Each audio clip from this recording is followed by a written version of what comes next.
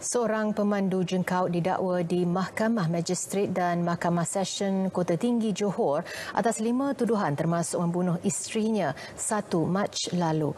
Tertuduh Muhammad Hanafi Patahur Rahim mengangguk faham selepas pertuduhan ke atasnya dibacakan di hadapan Magistrate Rashidah Baharum. Bagaimanapun, tiada pengakuan direkodkan bagi kesalahan membunuh.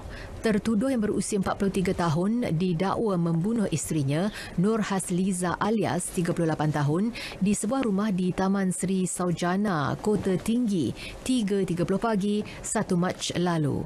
Dia didakwa melakukan kesalahan itu mengikut Seksyen 302 Kanun Keseksaan yang membawa hukuman gantung sampai mati mandatori jika sabit kesalahan. Mahkamah kemudian menetapkan 18 April sebagai sebutan semula kes. Sementara itu, di Mahkamah Session, Hakim Zahila Muhammad Yusof menjatuhkan hukuman enam tahun penjara secara serentak kepada Muhammad Hanafi selepas mengaku bersalah atas empat pertuduhan memiliki dua laras senapang dan puluhan butir peluru.